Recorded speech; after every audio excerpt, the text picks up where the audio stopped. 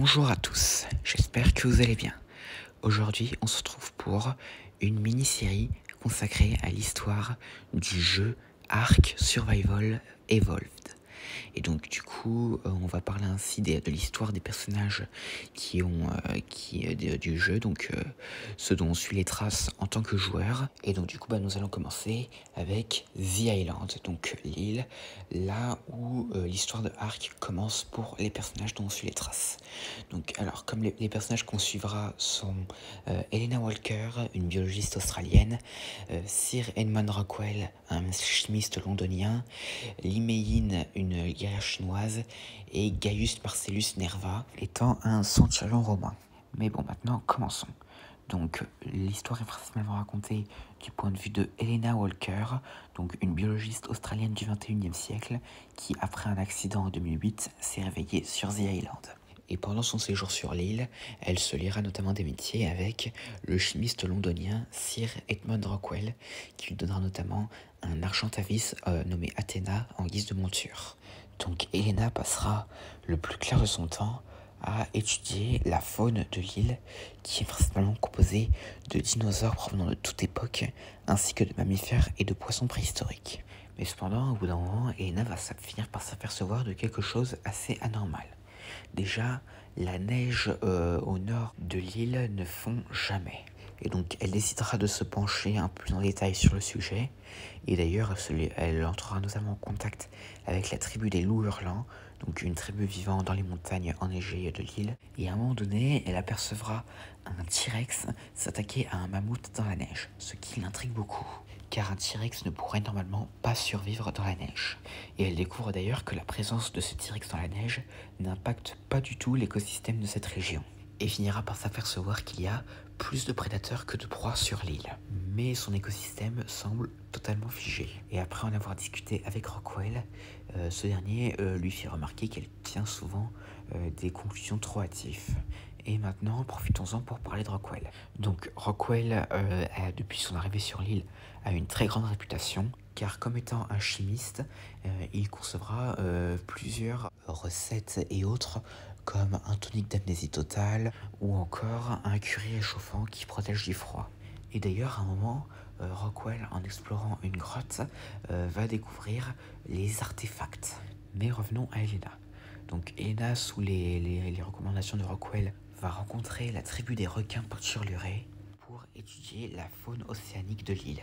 Et elle découvre que les mégalodons sont anormalement très nombreux et aussi beaucoup trop agressifs. Et est étonné que lorsque les mégalodons sont apprivoisés, ils obéissent comme euh, de gentils chiens.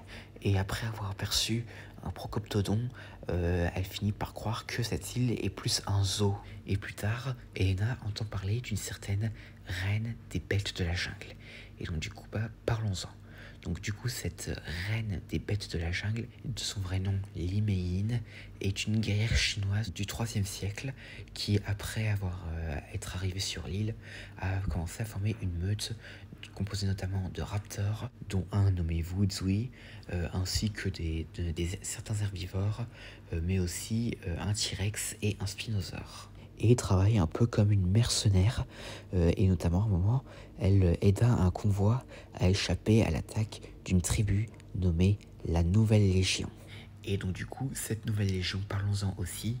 Et donc cette dernière est dirigée par le Romain Gaius Marcellus Nerva, qui a un peu décidé de créer une sorte d'empire euh, et de prendre le contrôle de l'île entière. Et donc du coup, Elena va rencontrer Meyin et donc du coup, elle étudiera un peu les créatures de sa meute et s'apercevra que euh, aucun de ces dinosaures euh, ne se bat entre eux. Et par la suite, elle découvre même euh, une île au nord-est de l'île qui est uniquement peuplée de carnivores.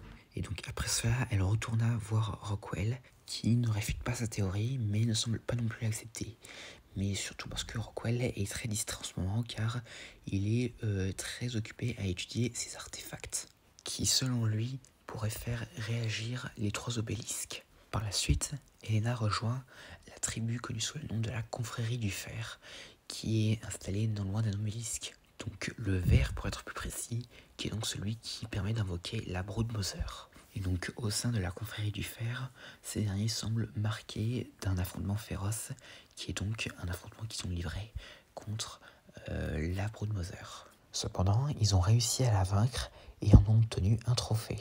Donc Elena le récupère et décide de l'emmener à une plateforme se trouvant euh, à côté euh, d'une grotte se, se, trouvant dans le volcan de l'île. Donc elle parle ici de la grotte Tech, dont les trophées des différents boss sont nécessaires pour l'ouvrir. Et donc Elena décide donc d'aller trouver d'autres artefacts pour trouver un moyen d'invoquer les autres boss, les tuer et placer leurs trophées euh, à la plateforme tech pour l'ouvrir. Donc les loups hurlants réussissent à retrouver les artefacts qui lui prêtent mais ne veulent pas se battre. Et donc Elena se tourne vers Mein. Mais cependant, parlons-en, reparlons-en de Mein. Donc à un moment donné, Mein est entré en contact avec les requins peinturlurés qui étaient euh, menacés par la nouvelle légion, donc la tribu de Nerva. Et donc euh, à un moment donné, euh, Nerva a réussi à faire croire aux requins peinturlurés que Mein les avait trahis et donc en son absence, il a pu les écraser. Et d'ailleurs, entre-temps, Nerva a recruté Rockwell comme bras droit. Et Mein, de son côté, a décidé d'aller capturer ce qu'elle appelle le super prédateur de l'île, à savoir le Giganotosaure qu'elle réussit à apprivoiser, euh, même si elle a perdu beaucoup de membres de sa meute. Et donc, et après, entre-temps, elle découvre un peu que le Giganotosaure s'énerve euh, quand il se blesse euh, gravement. Et donc après, revenons à Elena et Mein. Donc Mein accepte d'aider Elena, et avec toute sa meute, elles vont à la tour bleue, donc l'obélisque bleu, où ils y combattent le Megapithecus, un gorille géant qu'ils réussissent à battre, notamment avec l'aide du Giganotosaure. Cependant, quand ils reviennent de l'arène, ils tombent dans un guet-apens, car en effet, Nerva a voulu se venger de Mein pour l'avoir euh, vaincu à de nombreuses reprises. Et donc du coup, euh, Nerva ainsi que les, ses troupes de la Nouvelle Légion réussissent à massacrer la meute euh, de Mein, y compris le Giganotosaure, et réussissent à capturer Elena. Tandis que Mein, accompagné de son dernier raptor, Wuzui, a pu s'échapper. Et donc Elena est capturée, et un truc qu'elle ne sait pas, c'est que Rockwell est également présent, mais qu'elle ne le voit pas. Et, Rockwell, en la voyant, pensa que euh, elle a voulu lui voler ses recherches et se sentit trahi par cette dernière. Et donc ensuite, euh, Elena guide Nerva et sa légion euh, à l'obélisque rouge où ces derniers affrontent le dragon. Et donc après avoir obtenu les trois trophées des trois gardiens de l'arche, la nouvelle légion réussit à activer la plateforme ouvrant la grotte Tech. Cependant, une chose que Nerva ne sait pas, c'est que les loups hurlants ont réussi à rallier à leur cause euh, toutes les autres tribus de l'île et marchent en ce moment même sur leur camp. Et ces derniers ne s'arrêtent pas là car ils continuent sur tous les autres camps de la nouvelle légion. Et donc les troupes de Nerva voulurent euh, repartir de la grotte Tech pour aller défendre leur foyer, mais euh, Nerva ne veut pas car selon Rockwell, il y aurait un pouvoir suprême qui l'attendrait une fois qu'il aurait terminé la grotte Tech. Et donc pendant ce temps, Mein euh, perd son dernier raptor, donc Uzui, qui succombe à ses blessures, et part sauver Elena. Ce qu'elle fait est se rendre à leur tour à la grotte Tech. Et quand elles y rentrent, elles voient que tous les hommes de Nerva ont succombé.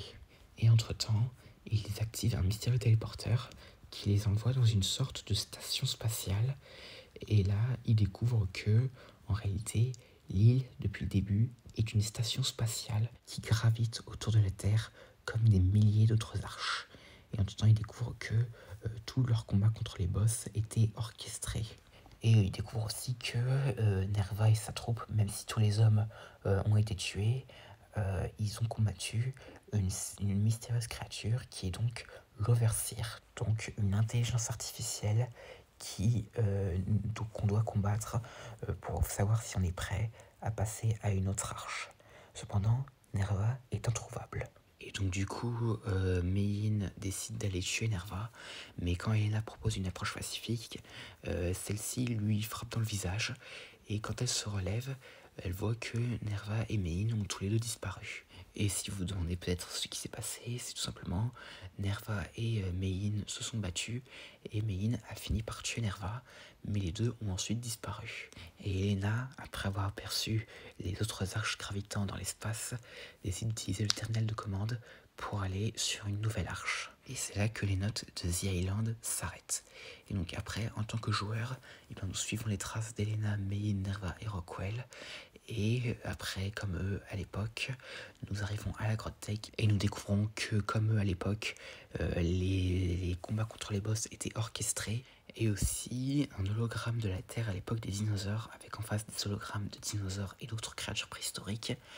Après, plus loin dans le couloir, nous voyons la Terre à notre époque avec des hologrammes d'humains, mais aussi, euh, en continuant plus loin, juste avant d'arriver à l'Overseer, nous découvrons une planète qui semble avoir été ravagée, et ainsi qu'un hologramme montrant un mystérieux être. Et nous affrontons l'Overseer.